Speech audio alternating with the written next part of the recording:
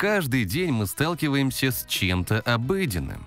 Но мало кто осознает, как много это может рассказать о нашем здоровье. Сегодня мы раскроем тайны самого обычного процесса и покажем, как он может спасти вашу жизнь.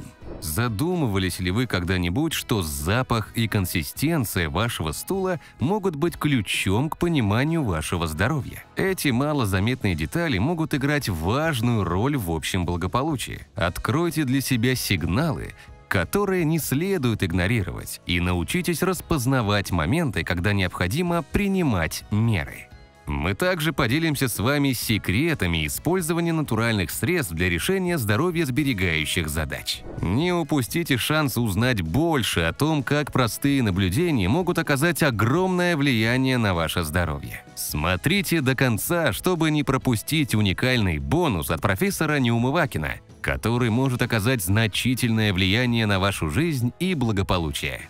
Не упустите эту уникальную возможность узнать больше о своем здоровье. Секреты стула. Что говорит о вашем здоровье? Многие из нас не придают значения этому аспекту ежедневной жизни, но он может рассказать о многих аспектах нашего здоровья. Значение цвета стула. Цвет стула может многое сказать о вашем пищеварении и здоровье.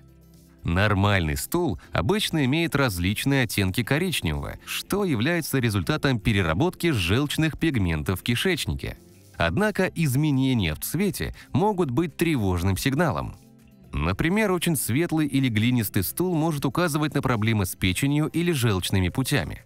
С другой стороны, черный или красноватый стул может быть признаком внутреннего кровотечения.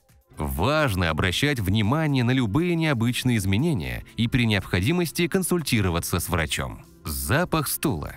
Запах стула тоже важен. Хотя стул не отличается приятным ароматом, резкое усиление его запаха может быть признаком инфекции или других проблем с пищеварительной системой. Если вы заметили необычный или особенно неприятный запах, это может быть поводом для беспокойства. Текстура и консистенция. Текстура стула – еще один важный аспект.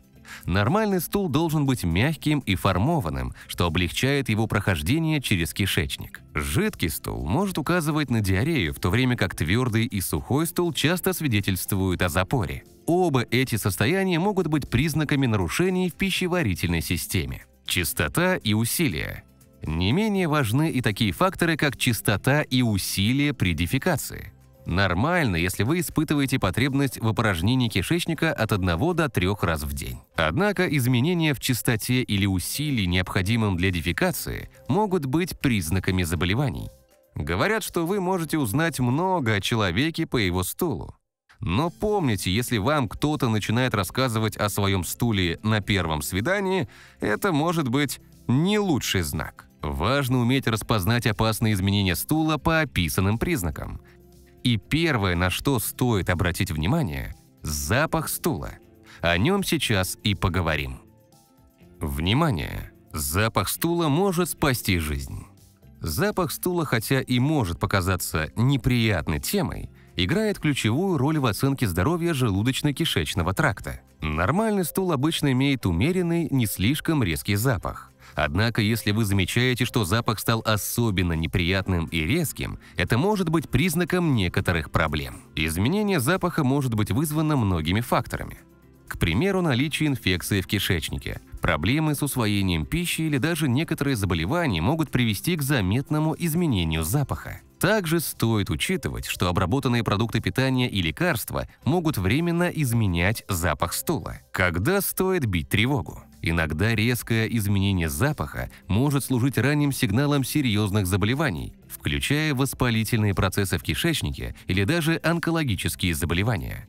Поэтому важно не игнорировать такие изменения. Для поддержания нормального запаха стула рекомендуется соблюдать здоровую диету, богатую клетчаткой, употреблять достаточное количество жидкости и избегать чрезмерного употребления обработанных продуктов. Также полезно регулярно заниматься физической активностью и поддерживать здоровый образ жизни. Консистенция стула. Подозрительные признаки. Консистенция стула – это важный фактор, который помогает определить, насколько хорошо работает ваша пищеварительная система. Нормальный стул должен быть мягким, но формованным, что облегчает его прохождение через кишечник. Жидкий стул или диарея часто свидетельствуют о нарушениях в работе кишечника. Это может быть вызвано инфекциями, пищевой аллергией, стрессом, а иногда и серьезными состояниями, такими как воспалительные заболевания кишечника. Если диарея не проходит в течение нескольких дней, это может требовать медицинской помощи. С другой стороны, твердый и сухой стул часто свидетельствуют о запоре. Это может быть связано с недостатком клетчатки в рационе, недостаточным потреблением жидкости или малой физической активностью. Регулярные запоры могут привести к дискомфорту и другим проблемам со здоровьем. Помимо диеты и образа жизни, изменения в консистенции стула могут быть связаны с приемом определенных лекарств, изменениями гормонального фона, а иногда и серьезными заболеваниями, такими как рак кишечника. Для поддержания нормальной консистенции стула рекомендуется сбалансированное питание, богатое клетчаткой, достаточное употребление воды и регулярные физические упражнения. Также важно следить за реакцией организма на определенные продукты и при необходимости корректировать рацион. Если бы у стула была своя социальная сеть, то запоры можно было бы назвать непубликуемыми постами. Они всегда есть, но никто не может их увидеть. Но не только консистенция, а и форма стула способна указать на целый ряд проблем в организме. В следующем разделе расскажем именно об этом. Оставайтесь с нами. Форма стула в ЖКТ. Когда бить тревогу? Форма стула – это важный индикатор, который помогает оценить состояние кишечника. Нормальный стул обычно имеет форму, похожую на банан или сосиску, мягкую и однородную. Однако отклонения от этой формы могут указывать на различные проблемы с ЖКТ. Формы стула и их значение. Тонкие ленты или карандашеобразный стул могут быть признаком сужения или блокировки в кишечнике. Очень мелкие твердые кусочки часто свидетельствуют о запоре и недостатке влаги или клетчатки в рационе. Более мягкий неформованный стул может указывать на недостаточное пищеварение или проблемы с усвоением питательных веществ. Жидкий водянистый стул свидетельствует о диарее и может быть вызван инфекциями, аллергией или другими проблемами. Изменения формы стула могут быть обусловлены разными причинами, включая изменение рациона, уровень стресса, прием лекарств и медицинские состояния. Для поддержания здоровой формы стула рекомендуется употреблять достаточно клетчатки и воды, поддерживать активный образ жизни и избегать хронического стресса. Если вы отмечаете нарушение в состоянии стула, а одно из наиболее распространенных нарушений – запор, то следующий раздел как раз для вас. Бонус. Неумывакин. Вот как облепиха растворит любой цемент. И вот мы подошли к самому интересному – нашему бонусному разделу. Сегодня мы расскажем вам об удивительном продукте, который профессор Неумывакин называл лучшим помощником пищеварения. Речь об облепихе. Это не только вкусный, но и чрезвычайно полезный продукт. Она богата витаминами С, Е, а также содержит множество полезных микроэлементов и жирных кислот. Облепиха способствует нормализации работы кишечника, улучшает пищеварение и обладает легким слабительным эффектом. Решить проблемы с пищеварением поможет отвар из облепихи. Возьмите 3 столовых ложки ягод, половину литра воды и немного меда по вкусу.